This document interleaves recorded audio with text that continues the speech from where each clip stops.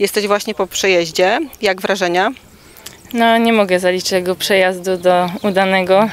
Strasznie koń e, spiął mi się na tym czworoboku.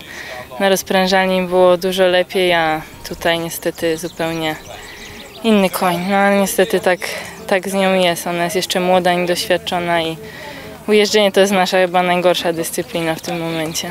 Ona wydaje się takim dosyć trudnym koniem, gorącym, łatwo się gotuje. To chyba tutaj nastąpiło, prawda? Tak, dokładnie. Jak dostanie właśnie jakiegoś takiego impulsu, bodźca z zewnątrz, to bardzo ciężko jest ją opanować. Naprawdę. No ale za to przynajmniej dobrze skacze i na krosie jest odważna. Może kiedyś uda nam się nad tym zapanować, żeby to ujeżdżenie też było lepsze.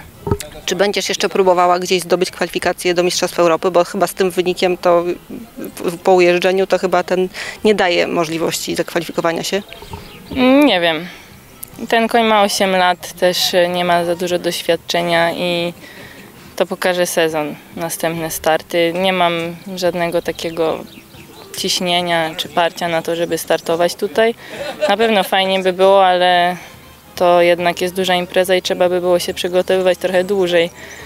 Przynajmniej mieć starszego konia, bardziej doświadczonego. Zobaczymy.